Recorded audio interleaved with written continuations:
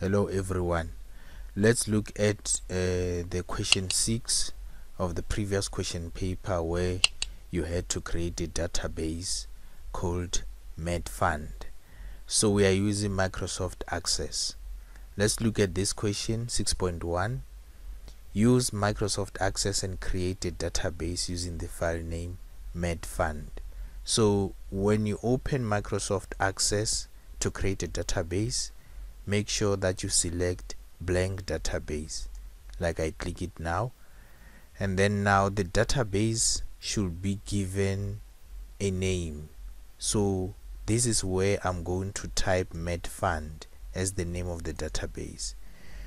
So when you type medfund it means that it is going to save this in a folder where everything will be updated as you work in the database so when I'm going to click create I should actually know where it's going okay? So the first thing that I will do after typing the name here I will specify the location by clicking here. And then I will have to choose where my database should be saved. So I'm going to save this database in my documents. I will click documents now. There it is. So I know that in my documents folder I'm expecting to find medfund which is my database file. So I'm clicking OK then I click click create. Now this space is called a design view where now I'm going to be creating the columns according to the descriptions and the instructions. So I'm going to change this view so that I can be able to work on the design view of this table 1 I'm clicking view design view then the table must also get a name just like a database. So when we look at the instruction again there they say create the following structure. So we are not given a table name.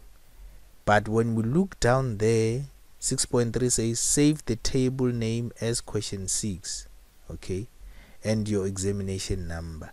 So it means the table that we are creating this is the name. Question 6 and the examination number. So when I'm there on my database I'm just going to type question 6 here. And then here it will be your examination number. Okay. So when I click OK that is my table name as it is like that so now I'm under design view. Now in this design view I have to create all the column names that should form part of the table question 6 examination number.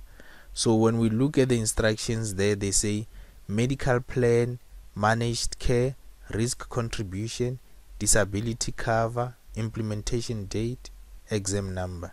So all these are going to be my columns the columns of the table so I have to list them in the design view and also specify the data type and also specify how many fields will go inside this table.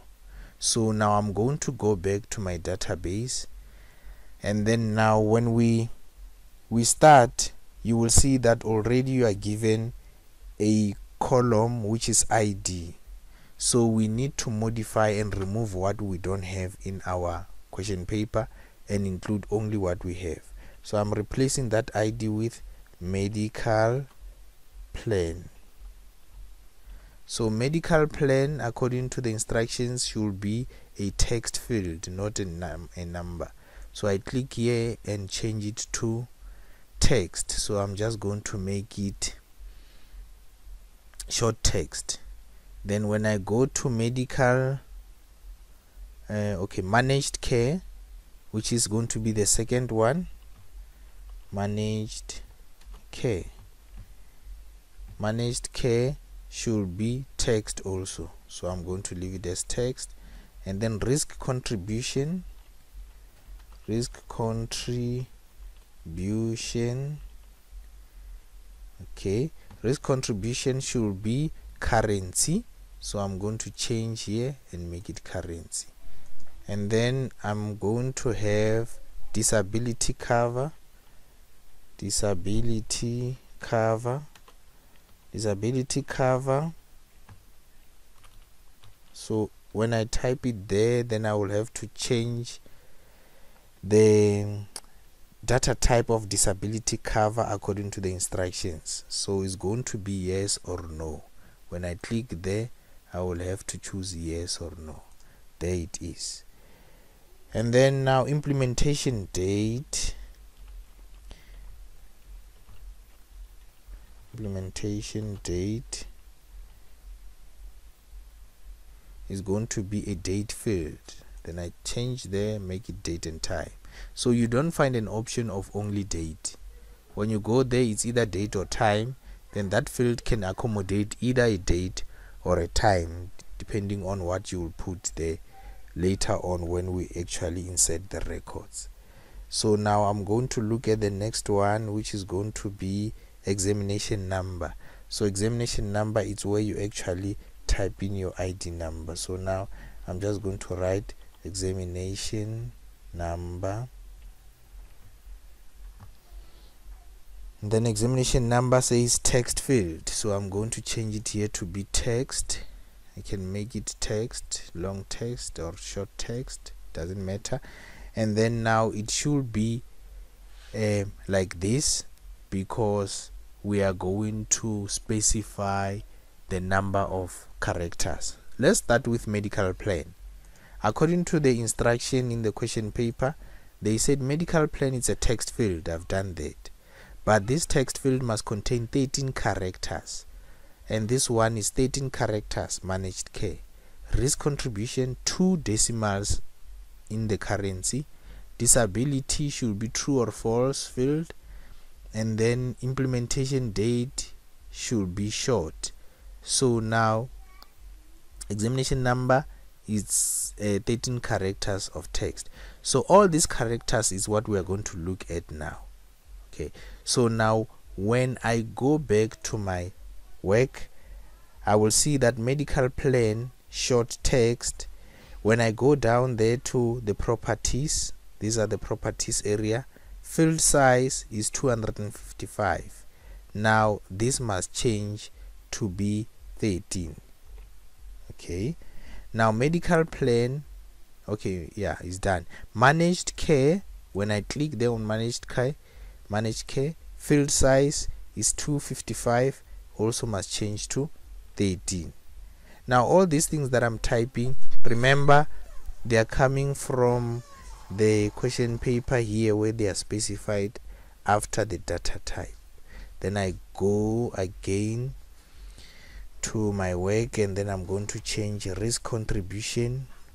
The currency says two decimals so when it's currency there you can see the format there says currency. So I need to change this currency to be uh, two decimals. So when you click there you will see that the format will appear to show different currencies. So i'm just going to go and say decimal places. There it says auto when i click there drop down then i can see the numbers that will represent those decimals.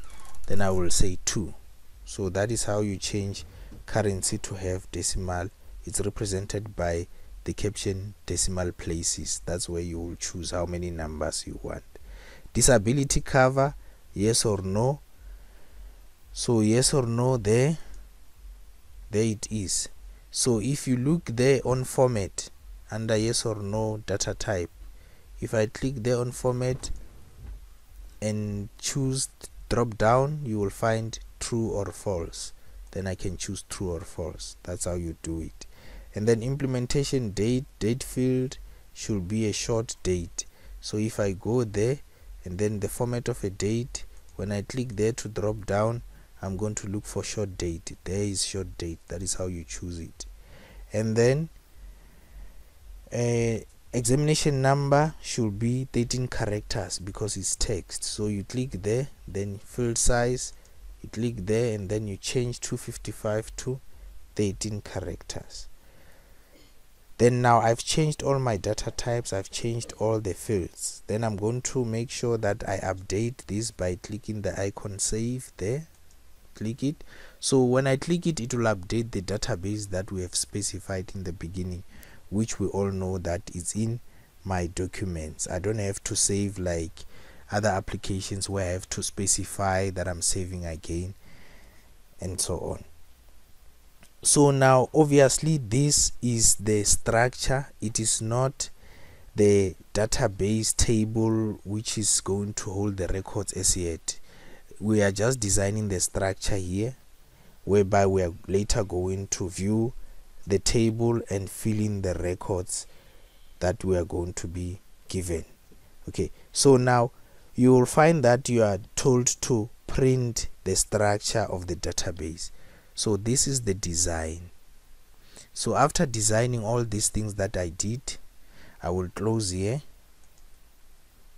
So I've closed the design but my database is still open so now now I'm going to show you how to print the structure so that we have a document as a page that shows all this information that we have been busy putting. So it, it is a process of uh, going to different tools whereby you actually retrieve that information. So I'm going to show you. In the meantime you can click there where it says subscribe at the bottom and also click like and share so that everyone can view this video. Right so now I'm going to click database tools as I'm printing the structure. Then I go to database documenter. And then I tick the table that I want the structure from. And then after ticking the table there I will go to options the reason why I go to options is because probably maybe you want to remove the properties or you want it to print with the properties or you only want to show the name and fields in the index. It's up to you what you want to show. So if they don't say properties you remove properties. If they want properties you will put it like that. Right let's look at the instruction. Here they say print the structure of the database on one A4 page portrait. Do not print any properties or extra field names. So when I go to my work again I'm not going to print properties and then we don't want extra field names. So include for fields I include all of them. Include for indexes nothing okay? I don't want extra things right? So now after doing this I click OK right so now when you click ok there you are then you click ok again there. So you will see now it's loading a document which is a page that shows all my columns and all the data types and data fields field sizes that I've been specifying throughout